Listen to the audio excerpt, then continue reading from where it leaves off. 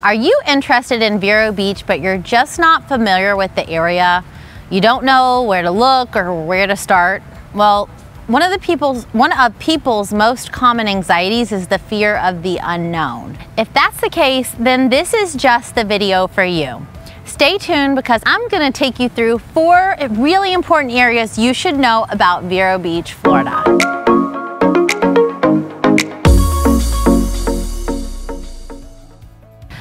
Is Rachael Carroll and I run a real estate team here in the Space and Treasure Coast of sunny Florida. I've lived here for the better part of 10 years and sold real estate for just as long, helping almost a thousand families now. Uh, I'm actually not from this area. I was born and raised in Western North Carolina. So when I moved to Vero Beach and shortly thereafter started selling real estate, I really had no idea where I was and I had to figure out how to make my way and get my bearings. So I can relate to those people who get in touch with me who aren't from this area or are new to the area, not sure where to start. I see you. If at any point you want to pick my brain, please get in touch. All of our contact information is in the description below. Vero Beach is a lovely, quaint city nestled along the Atlantic coast of Florida, about halfway between Cape Canaveral and West Palm Beach. It is considered the northernmost part of the Florida tropics and features really great quintessential tropical weather year round. I've got an entire playlist dedicated to Vero Beach if you want to check that out. So here are the four important areas of Vero Beach you should know about.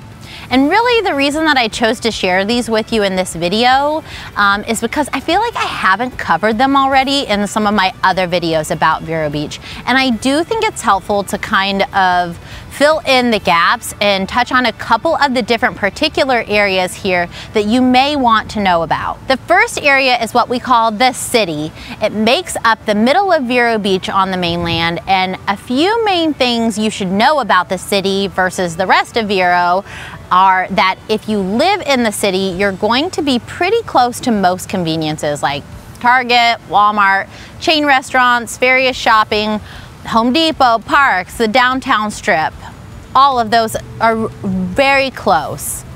You'll also want to know that the city has its own utilities set up for water and sewer. So if you live within the city limits, you will utilize their services versus Indian River County utilities like everywhere else in the county.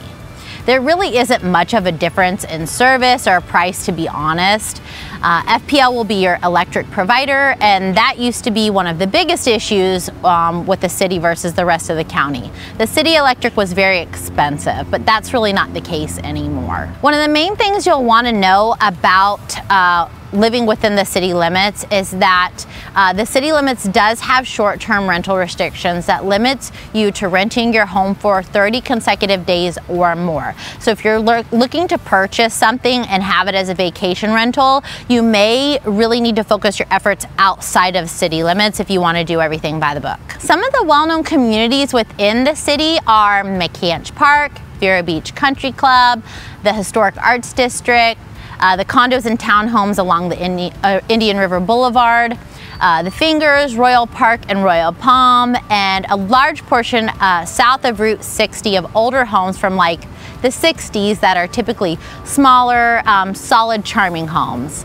The city limits also include a portion of beachside encompassing Central Beach, Ocean Drive, South Beach, and Riomar. The next area I want to touch on is Central Vero, which is actually west, but we call it Central because, I don't know, why not? It's out near the mall just to give you a landmark. This area is going to have a ton of conveniences very close by, like within a few minutes drive. Now, if you're not familiar, familiar already with Vero Beach, it is a driving city, so you're gonna need a car to get around. But by car, everything is going to be very close and convenient in, in the central Vero area.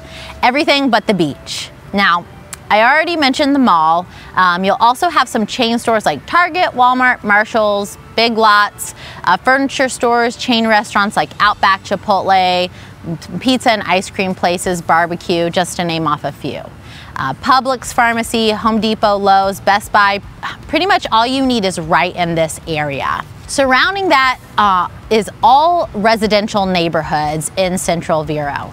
You're gonna find a lot of HOA neighborhoods, but you will also find homes with larger lots um, in areas like Doctors Row, as well as some larger homesteads with acreage. Just to rattle off a few more of the more known communities, you'll find Park Lane Estates, Trillium, Point West, uh, I already mentioned Doctors Row, Indian River Farms, uh, Polo Grounds at Point West, 60 Oaks, Lake in the Woods, Woodfield. There's really too many to name them all. Central Vero is also going to offer you easier and quicker access to I-95, Interstate 95, if you need that. The next community I'm going to talk to you about is Vero Lake Estates. Vero Lake Estates is very far northwest um, in Vero Beach and a lot of people argue that it actually should belong more appropriately to Sebastian. However, if we're going by zip codes, it does fall into the Vero Beach zip code. You're going to find both paved roads and dirt roads here in Vero Lake Estates and a mix of different single family homes in terms of size and style. Most of them are pretty traditional looking homes ranging in the three to four bedroom range. And you're gonna find a mix of different size lots. So you can get the standard like 0.23 acre lot all the way up to double and triple size lots in Vero Lake Estates. I would describe this area as more of a rural or country type of vibe. As somebody who comes from a more rural and country town originally, um, it does give me that vibe. A lot of the homes in Vero Lake Estates are on well water, so that is something that you're gonna wanna pay attention to. If you are in Vero Lake Estates, you're really gonna wanna go to Sebastian for all of your conveniences and like needs and grocery shopping, eating out, um, most of the things like that. And the great thing about Vero Lake Estates is that there's no HOA, so you can pretty much do what you want out there. You can have your boats in the yard, you can have your RVs, you can have really whatever you want going on in your property and with your house there. So that gives you a lot more freedom and options. Because it's a bit out of pocket, Vero Lake Estates actually is more affordable than other parts of Vero Beach for the size of home that you can get. Okay, so the fourth area that I'm going to talk to you about is Indian River Shores, which is in the north part of the island in Vero Beach. So it's on the barrier island just north of 7-Eleven, um, the Village Beach Market, and like the tracking station beach access. Indian River Shores shares a zip code with Vero Beach, so it is still 32963. However, they kind of govern themselves, so they have their own fire department, they have their own police department, um, they have their own building department, and it's really just an extension of the island in Vero Beach. But what you can expect is some really beautiful homes. So you're gonna find a handful of different condos as well as single family island homes as you go north on the island. It's also home to the very exclusive John's Island Club, and typically it is a quieter part of the island, a little sleepy or a little more quaint, I would describe it. And the beaches are not frequented by a lot of public traffic, so the beaches feel very exclusive and very private, and that's really something that's nice about Indian River Shores. All right, so I know I said I had four areas for you to know about, but I'm gonna throw in one more bonus. So the south part of Vero Beach's Barrier Island, I personally consider this to start around 17th Street Bridge and go south from there all the way until you reach the line for like Fort Pierce or Hutchinson Island is what they call it. Um, this is like around where Round Island State Park starts. So you're gonna have some really great neighborhoods, um, almost entirely single family island home neighborhoods, either on the east or the west side of A1A. So the east side of A1A is going to be very easy, easy walking distance to the beach. Um, I would actually call it a stroll to the beach, which is really, really a nice quality of life. And you're definitely gonna pay for that convenience so be prepared for that. On the west side of A1A, again, it's a walkable, but I would say more of like a bike ride to the beach. Um, really anywhere you are on the island west of A1A. You do have to cross Highway A1A, which is somewhat busy with traffic all throughout the day.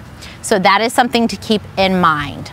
Some of the more popular communities that are well known on the South Island area are going to be Castaway Cove, Um, you have the moorings. Um, you're going to have so many handfuls of those like very small uh, one street neighborhoods all down the island that are going to offer their own little HOAs or deed restrictions.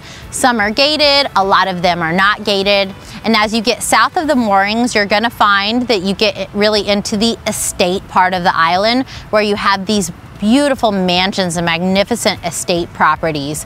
And some of them run uh, from the ocean all the way to the river. Some of them are just on the ocean side, but they really are very exclusive and quite magnificent. So if you're looking for more information about Vero Beach, where to live, what areas may fit your needs the best, give us a call. You can always check out my other videos on this channel. I also have a playlist all about Vero Beach with all of those great informational videos. And you can also find us on Google, the Carroll Home Team, Vero Beach Realtors, and check out all of our awesome five-star reviews. We currently have, I think, well over 150 of them now. I also want to mention that calling us does not obligate you to buy a house or even work with us, but it does start you in the right direction for finding your right home here and getting connected to a team of excellent, highly motivated full-time realtors who strive for excellence in what we do. So give us a call and go click that subscribe button before you forget.